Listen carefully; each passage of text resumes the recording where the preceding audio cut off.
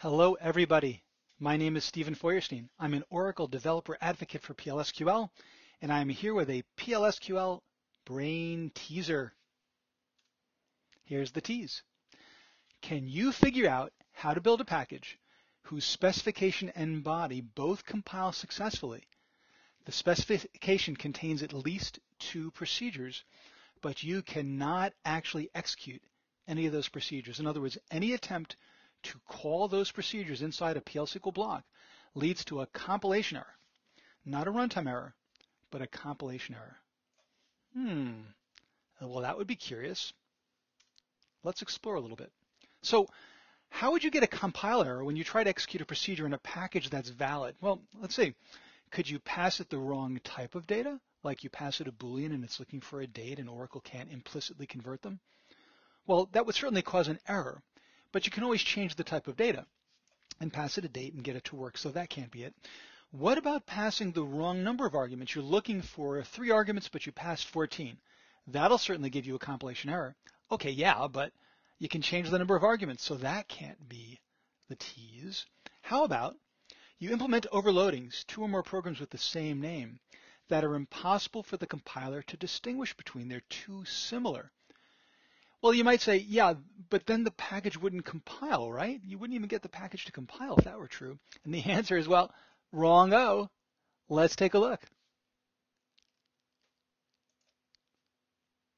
So first of all, what I'm going to do is turn on warnings. So the PL/SQL warnings are a whole compile time warning subsystem built into the compiler that will give you feedback on the quality of your code. In other words, even if your code compiles, it might flag something as being problematic.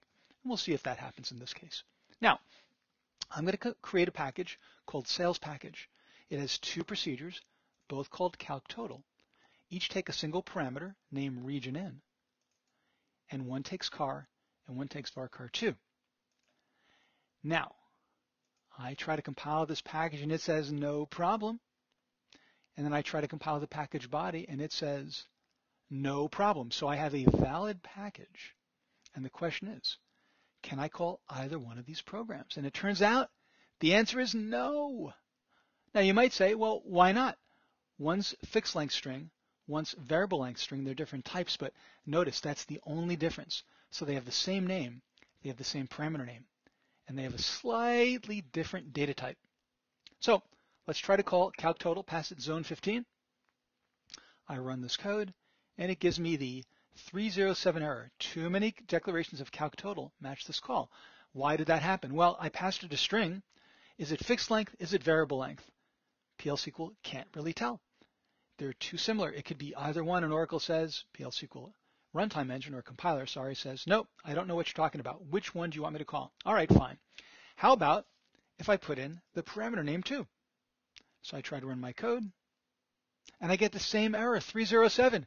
Too many declarations match this call. Why is that? Well, because both of my procedures have the same parameter name. Fine. So even if I specify the parameter name with name notation, it won't work. How about if I actually pass it a fixed length string? So, where are you? Where are you? There you are. So now I'm going to declare a fixed length string, length 2, assign it AB. And I'm going to pass that to my parameter. Now surely the compiler would say, well, okay, now we're good because this is fixed length, one of them is variable length, one of them is fixed length, so that's going to work, right? And the answer is No, it's not going to work. You still get too many declarations of calc total match this call. Even though I specify this as a fixed length string and I pass that to my parameter, Oracle does not consider those sufficiently different to allow that overloading to be successful. So that's the tricky thing to realize here. Now, if I had put in a date versus a string, then Oracle could tell the difference. But if I put in two different data types that are similar but not the same, the compiler says that's a valid package from the standpoint of compilation because it can tell the difference between these two. But when I try to call them, the PL/SQL will be unable to distinguish between the two of them. And just to be clear, if I did use the same exact type, it would not allow me to compile. Too many declarations of calc total. Whoops, let's make sure of that. I try to compile this package. And I see 305, previous use of calc total conflicts with this use. So at the time I try to create the package, if they're literally the same, then the compiler at this point says your package is invalid.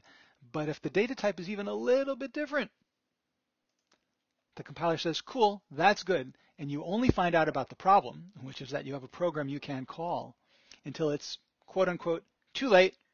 The package is defined and you try to use it. All right, so to sum up, overloading is a great technique. You should use it whenever it's appropriate, but make sure that when you overload, you've got to distinguish, have clear distinction between the overloadings number of parameters, data types of parameters, and with data types they have to be different by family, not just different within the same family like char versus varchar2. Now, if you'd like to try this out for yourself, feel free to download my demo zip file, which has all of my PL/SQL demo scripts in it from this URL, and then just pull out the ambiguous overloading script. And then you can try it yourself, play around, and make sure you understand really clearly what the problem is and why PLSQL can be such a tease.